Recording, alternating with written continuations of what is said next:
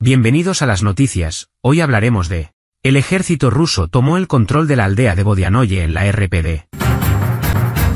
Rusia atacó este lunes con bombas aéreas guiadas KAB la región oriental de Kharkov. La inteligencia militar británica ha constatado la llegada de cuatro nuevas barcazas a las instalaciones de la Flota del Mar Negro de Rusia en el puerto de Novorossiysk. Las tropas rusas han tomado el control de varios bastiones estratégicos ucranianos cerca de Chasov Yar en la República Popular de Donetsk. Francia ha anunciado que enviará a Ucrania cientos de vehículos blindados antes de inicios del año entrante. Kiev califica de cínica demanda rusa de entregar el jefe de inteligencia por terrorismo. OTAN no prestaría ayuda a Francia en caso de ser atacadas las tropas desplegadas en Ucrania. Zelensky aborda la producción propia de drones.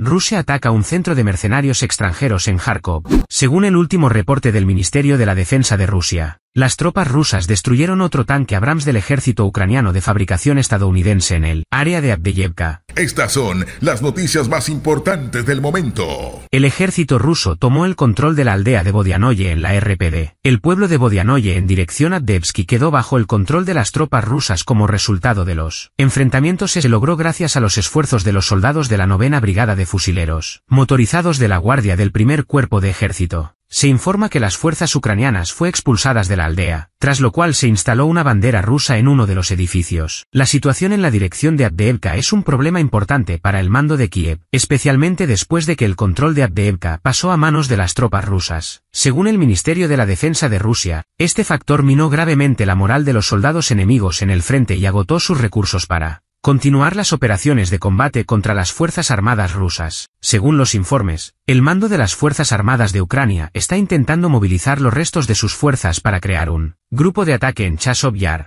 donde los combatientes restantes se retiraron. Sin embargo, los ataques aéreos rusos regulares contra las fortificaciones enemigas dificultan esta tarea. De otro lado, según la agencia de noticias Slavatas, las tropas rusas han tomado el control de varios bastiones estratégicos ucranianos cerca de Chasov Yar en la República Popular de Donetsk, RPD, dijo el lunes Atas el asesor del jefe de la RPD, Igor Kimakovsky.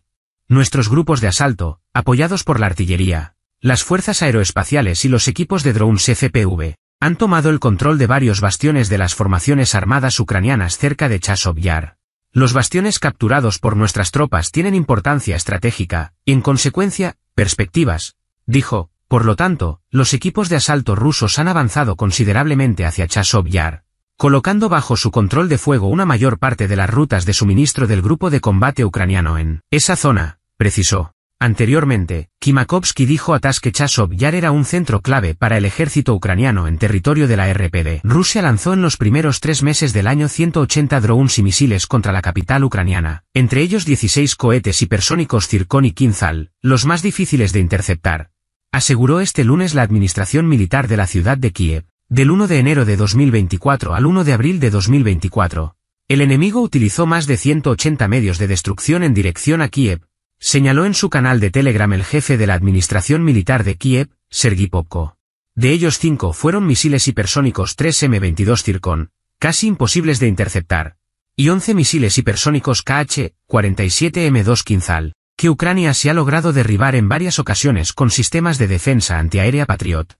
Rusia empleó por primera vez en la guerra en Ucrania un misil hipersónico Zircon en un ataque el 7 de febrero. Contra Kiev, Además Rusia lanzó contra Kiev seis misiles balísticos de corto alcance Iskander M, 3 de crucero KH, 69, 113 KH, 101 y un calibre de precisión. Las fuerzas rusas también bombardearon la capital con 48 drones suicidas iraníes SAD. La inteligencia militar británica ha constatado la llegada de cuatro nuevas barcazas a las instalaciones de la flota del Mar Negro de Rusia en el puerto de Novorossiysk, al suroeste del país, para proteger a los buques de guerra de posibles ataques ucranianos. Según informa Europa Press, la inteligencia británica interpreta que el traslado parcial de la flota rusa del Mar Negro al puerto de Novorossiysk responde al aumento de los ataques no tripulados perpetrados por Ucrania contra los barcos estacionados en Sebastopol, Crimea. Según la última evaluación del Ministerio de Defensa británico, esta decisión destaca el papel crucial que ahora desempeña el puerto de Novorossiysk en la protección de los activos de la flota del Mar Negro. Cuando se cumplen 768 días de guerra en Ucrania, los aliados de Kiev siguen trabajando para satisfacer la demanda de armas de los ucranianos. Francia ha anunciado que enviará a Ucrania cientos de vehículos blindados antes de inicios del año entrante, como parte de un nuevo paquete de asistencia militar. Mientras tanto, Rusia atacó este lunes con bombas aéreas guiadas KAB la región oriental de Kharkov. El bombardeo provocó grandes daños en una institución educativa, una residencia universitaria y un edificio residencial, señaló este lunes el jefe de la Administración Militar Provincial, Oleksiy Negubov. El alcalde de la ciudad de Kharkov,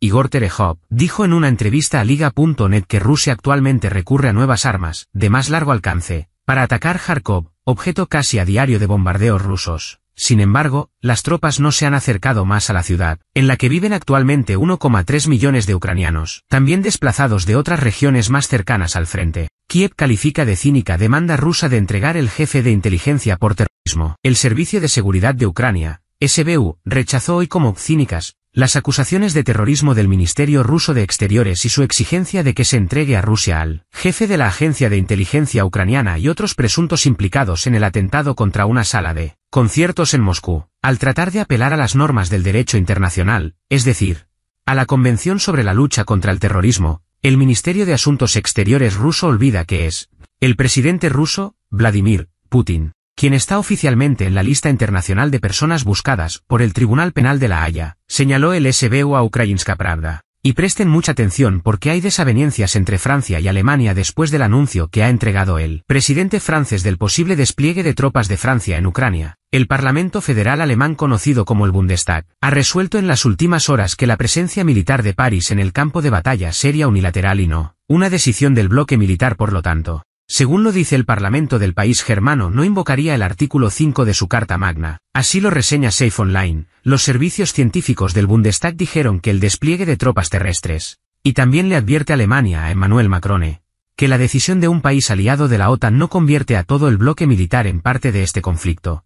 Es lo que dice este informe que ha sido citado por un funcionario no identificado y que precisamente pertenece al Parlamento de Alemania.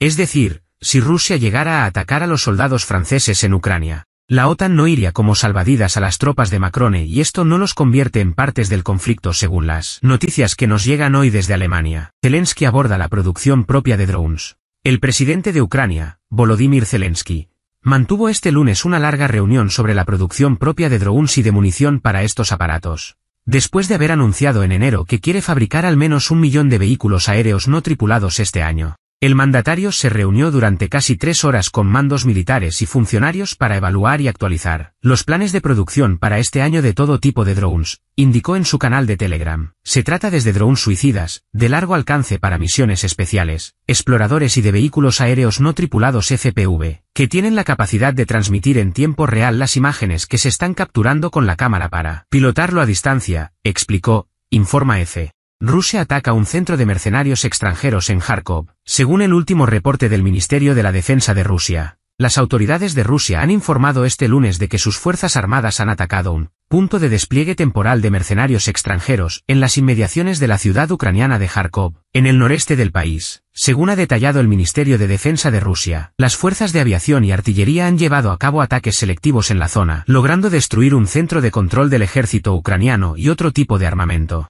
Junto a este centro de control, las Fuerzas Armadas rusas han logrado destruir un vehículo para el traslado de tropas, un sistema de radar y dos lanzadores del sistema de defensa aérea S-300. Según recoge la agencia rusa TAS, las autoridades rusas han denunciado en repetidas ocasiones la presencia de mercenarios extranjeros en las filas ucranianas. A mediados de enero aseguraron haber matado a más de 60 combatientes franceses tras un ataque en Gerson. Las tropas rusas destruyeron otro tanque Abrams del ejército ucraniano de fabricación estadounidense en el área de Abdeyevka, tomando mejores posiciones y rechazando dos contraataques enemigos durante el último día en la operación. Militar especial en Ucrania, informó el lunes el Ministerio de Defensa de Rusia. El enemigo perdió hasta 295 efectivos, un tanque Abrams de fabricación estadounidense, cinco vehículos blindados de combate y cinco vehículos de motor. En el fuego de contrabatería fueron destruidos los siguientes objetivos, un lanzacohetes múltiple grad, una artillería autopropulsada a Katsilla, un sistema de artillería motorizada Vozdica, dos obuses de 31 cañón de artillería M119 de fabricación estadounidense, dijo el ministerio en un comunicado.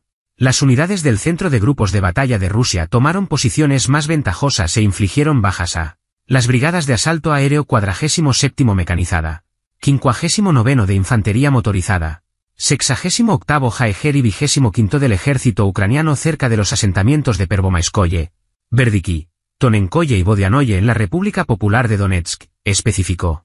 Además, las fuerzas rusas rechazaron dos contraataques de grupos de asalto de la 24 Brigada Mecanizada del ejército ucraniano cerca de los asentamientos de Leninskoye y Chumi en la República Popular de Donetsk, dijo.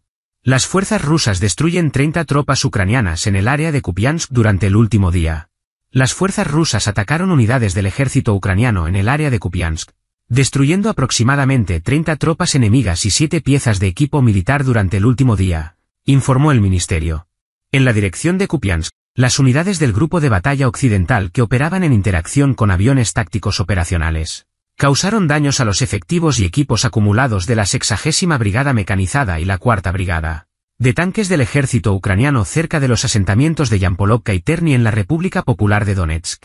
Las pérdidas ascendieron a 30 personas, dos vehículos de combate de infantería, cuatro vehículos de motor y un cañón de artillería autopropulsado Krat de fabricación polaca, informó el ministerio.